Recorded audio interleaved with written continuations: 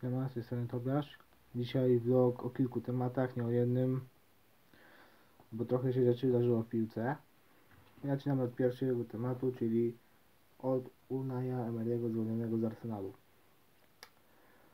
Eee, dlaczego się tak stało? Arsenal miał bardzo słabe wyniki w lidze, także w lidze Europy. Przegrał 2-1 z Eintrachtem w lidze Europy. Przegrywał hmm, z kim Między innymi Newcastle zawodził, z kilkoma innymi klubami także zawodził. Teoretycznie było słabo. Mm. A Emery miał być tym człowiekiem, który wprowadzi z powrotem Arsenal do Ligi Mistrzów. I tak się nie stało. E, teraz jego zastępcą jest Freddy Ljungberg. Wczoraj, jeżeli się nie mylę, były mecze grane w Premier w środku tygodnia. Między innymi Arsenal właśnie przegrał z Brighton. I wszyscy piszą Lundberg out. Freddy Lundberg out.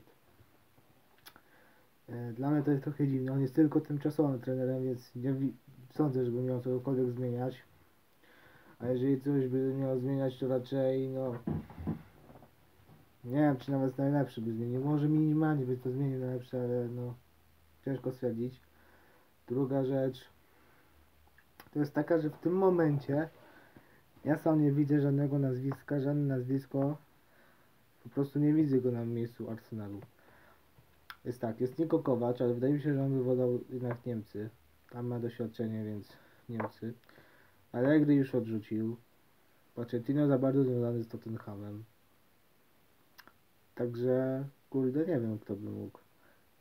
Jedyne nazwisko, jakbym chciał zobaczyć w Arsenalu jest Thomas Tuchel. Tylko z tym jest problem, bo Tuchel w PSG ma dość mocną pozycję i raczej szybko nie odejdzie, biorąc pod uwagę ile on tam zarabia, bo to jest jednak, wiadomo, katarski klub i raczej szybko nie opuści miejsca pracy. W zasadzie Paryża. Yy, Jeszcze się tak myślę, Ewentualnie jeżeli był, może Favre, jeżeli byłby zadowolony z Borussii, chociaż nie sądzę, biorąc pod uwagę jaki miał pierwszy sezon, bo raczej nie zostanie zwolniony teraz, kiedy Borussia trochę słabszy okres. Mm, No to nie widzę żadnego, tylko Tuchel mi się nasuwa. Mm, Nie wiem, może wam się nasunie coś. Piszcie, czy wam się coś nasuwa. Nowy trener Arsenalu, jaki powinien być. Bo mi się nie nasuwa. Y, Kolejna rzecz to jest. Trochę wracamy do tych meczów w Premier w środku tygodnia. Mourinho z czyli nowy trener Tottenhamu, zagrał na Old Trafford w Manchester United, w swoim poprzednim klubie. I przegrał 2-1. Nie wiem, czy chcę to jakoś komentować. Jedyne co to ważna rzecz jest taka, że Rashford zdobył dwie bramki w tym meczu. E, Dla to ten Ham nie pamiętam, ktoś się chyba Kane. Ewentualnie mnie poprawcie. Ale no United wygrał, chyba w końcu coś wygrał, bo nie pamiętam kiedy oni ostatni się wygrali. A teraz czekają chyba w ten weekend derby, więc będzie na pewno ciężko. No i w sumie ocenę właśnie z Premier League, z tego loga całego, z tego co wiem, to to, że dzisiaj taka informacja, że Chelsea w okienko nie ma zakazu transferowego. Dla mnie biorąc pod uwagę, że Chelsea to jest jednak ten w Premier League ulubiony klub, jest to fantastyczna wiadomość, mm, e, ponieważ wiadomo, letnie okienko mieli trochę e, nie za bardzo. Jedyne co mogli zrobić to wykupić Kowacica z Realu. Jeszcze nie tyle. Jeżeli teraz będą zimowe okienko otwarte, no to wydaje mi się, że z trzech, czterech nowych piłkarzy przyjdzie, czterech odejdzie, bo tak naprawdę wydaje mi się, że czterech zawodników się tam marnuje. Wydaje mi się na przykład powinien odejść Giroud. To powinien odejść. Bym Cika może odszedł na wypożyczenie, bym wysłał Caballero może bym wysłał gdzieś odesłał, nie wiem gdzie. A kogo bym widział? Nie wiem. no, Nie widziałem żadnego nazwiska, które mogłoby się skojarzyć z czymś. Jedyne co to były pogłoski, że że może Hamas miałby gdzieś trafić na wypożyczenie, ale nie sądzę, bo aktualnie jest chyba no coś tam robi w tym Realu i jednak biorąc uwagę, że za niedługo El Clasico nie wiem czy nie w tym tygodniu chociaż nie wiem. Nie chyba zacznie El Clasico. To raczej nie będą się chcieli go pozbywać no, także tyle ode mnie, także tyle jeżeli chodzi o Premier League. Yy, kolejna rzecz jest taka, że Hazard i Marcelo nie zagrają w El Clasico przeciwko Barcelonie. Jest to w sumie dość dobra wiadomość, ponieważ Hazard coraz bardziej się rozwijał w Realu, coraz bardziej się ośmielał w lidze hiszpańskiej. I dla Barcelony jest to bardzo dobra wiadomość. A dla Realu to jest trochę słabsza wiadomość. Wiadomo, mm, gdybym musiał wam teraz wymienić, moim zdaniem jak ten mecz będzie wyglądał, no to strzeliłbym wynik 2-1 dla Barcelony. Ym, Bo Barcelona pewnie będzie tak, że Messi strzeli pierwszego gola. Do przerwy będzie 1-0. Po przerwie strzeli na początku na przykład Benzema i w końcówce strzeli powiedzmy Suarez. I tak przewiduję ten mecz. Mm, Co jeszcze się wydarzyło ciekawego? Z ciekawszych rzeczy jeszcze to Polska poznała swoich sparingów, swoich rywali do sparingów w piłce w meczach towarzyskich przeciwko do Euro. I są to Finlandia, Ukraina, Rosja i Islandia. Wszystko ok, tylko mam jeden dylemat. Ja liczyłem na coś, na mecz w stylu Polska-Anglia. Polska, taki duży kraj. Polska-Anglia, nie wiem, może nie Polska, nie wiem, czy jeszcze myślałem Polska-Portugalia, ale tu chodziło głównie o to, żeby byśmy się przygotowywali na mecz ze, ze Hiszpanią, bo ten mecz pójdzie nam, wydaje mi się, że najgorzej, no. Jeżeli jakimś cudem nam się to zremisować, no to się będę cieszył, no ale... Słuchajcie, no. Y, Jeżeli chodzi o Ukrainę i Rosję, to, to państwa w tym momencie są bardzo, mają dobrą kondycję. Awansowały na Euro, Ukraina z pierwszego koszyka, Rosja z drugiego, ale zawsze awansowała jedna, jako jedno z pierwszych państw. Yy, przede wszystkim Golowin się trochę już otworzył w tym Monako i coś tam gra.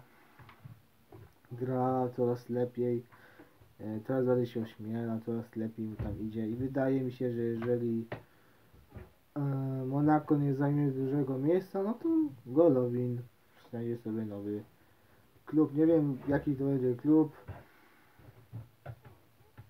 Nie pytajcie mnie, bo nie wiem, musiałbym to przemyśleć. Innym e, o Ukrainie będę mówił, bo to jednak kwestia osobna.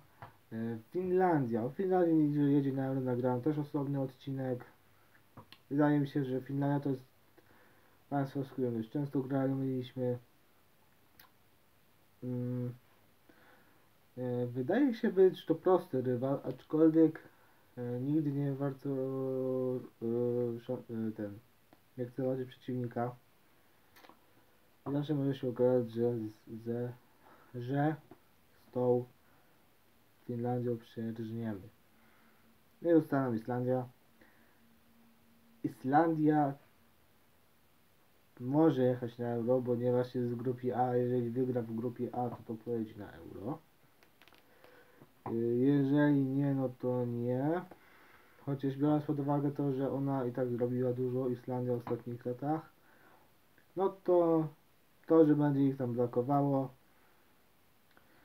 mm, no nie ma dla mnie jakiegoś większego problemu. Yy, Wydaje mi się, że Islandia to tak na zakończenie tych meczów towarzyskich. yy, Dobry sprawdzian.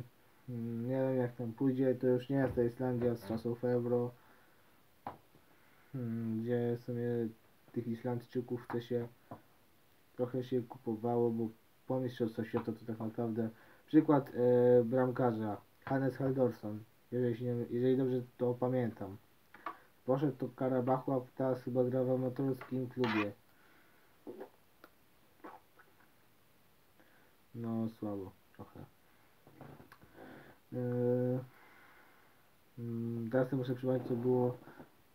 Mm, chyba tyle to było z takich ciekawszych informacji. Mm,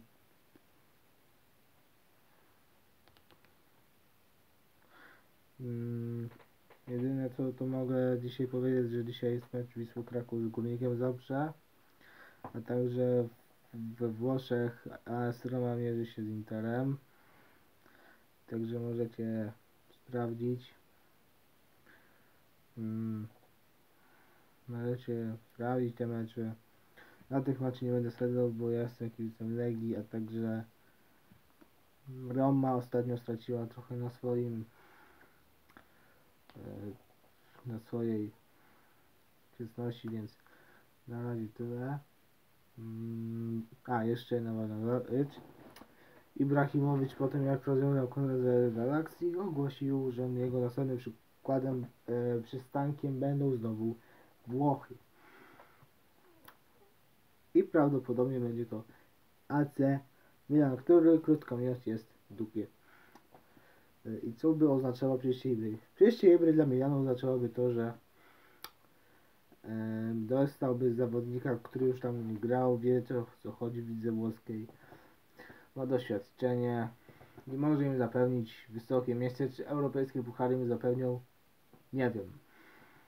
Różne rzeczy mogą się w piłce nożnej zadziać.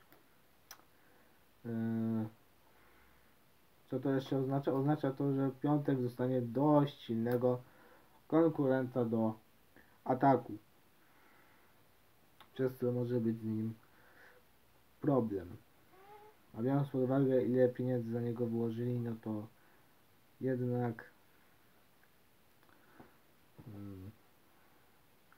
Tu jeszcze a propos Krzysztofa Piątka przypomniała się jeszcze jedna rzecz. Atletico Madryt szuka wzmocnień i podobno Piątek jest e, jest ich na ich celowniku. Diego Costa sprawia problemy wychowawcze. Morata strzela, ale raczej e, raczej Simone chce mieć zaufanego napastnika. E, a a João Felix jest jeszcze bardzo młody. E, Dlatego wydaje się taki Krzysztof Piątek by tam mógł pasować. Chociaż to byłby jego też debiut, więc w lidze hiszpańskiej, ale jak to ma, kto nie próbuje, ten nie pije szampana. Mm, Czy ja się chciałem powiedzieć? Jeszcze z ważnych rzeczy. Powiem o dwóch Polakach, którzy do tej pory mają problemy we Włoszech. Pierwszym był Seba Walukiewicz, który ostatnio zadebiutował w meczu e, Coppa Italia, czyli w którym Cagliari wygrał z Sampdorią. Mm, Jest to tyle dla mnie ważna rzecz, bo Walukiewicz się być takim przyszłym dla mnie Kamilem Glikiem naszej reprezentacji.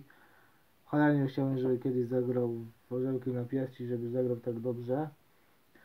A druga rzecz, to Żurkowski no, ma coraz gorszą sytuację w Fiorentinie. Jeszcze nie zadebiutował, nie znajduje się na ławce. Ja naprawdę nie wiem, no, co jest powodem. Czy Fiorentina ma tak wyładowaną ławkę? Nie wiem, no. Ale z drugiej strony tak naprawdę to dużo e, Polaków, którzy grali we Fiorentinie się trochę marnowało. Przykładem Rafał Wolski. Drągowski się trochę marnował, poszedł na wypożyczenie i coś tam pograł i no i teraz już jest ej, okej. Ale kto tam jeszcze był? E... Ale sobie przypomnę. Hmm. Błaszczykowski jeszcze tam też sobie słowo zagrał, także no tego nie ma co się yy, zastanawiać, dlaczego Polakowi idzie źle w takim klubie, gdzie Polakom w sumie zawsze szło źle. Chociaż nie, może jakąś przypadku wyszło dobrze. Mm, Tak daleko nie sprawdzałem. No. Wydaje mi się, że to tyle. Trochę dużo wyszło tego. Yy... A, jeszcze jedna ważna informacja. Dzisiaj doszła do mnie straszna informacja o tytułem Leczenie szatni w Legii Warszawa. Yy, Salvador Agra, mm, Luis Rocha, William Remy, yy, z tego co pamiętam Dominik Nagi i chyba Christian Phillips, który odejdzie 31 grudnia, mają dostać yy, no, mają odejść z Legii. I powiem tyle. Zbyt duże roszady w klubie nie wróżą dobrze. Załóżmy, że chciałbym, żeby odszedł na przykład właśnie Philips. I załóżmy no na przykład Remi, bo dobrą kwotę byśmy dla niego dostali. No to tych mogłem oddać. Gdybym miał zastępstwo dla pozostałej trójki, czyli Nagi, Rosza i Agra, no to, no to mogę sobie iść, do widzenia, ale jeżeli nie ma, no to nie ma, nie? Plus jeszcze jest informacja, że podobno klub z Rosji zainteresowany Jarosławem zgodą. Ja powiem tak. Jeżeli oferta będzie dobra, to klub powinien ją rozważyć, ponieważ mm, Ja- Jarek jest jeszcze młody. On ma jeszcze dużo lat przegrania. On może kiedyś wystąpi w reprezentacji. Yy...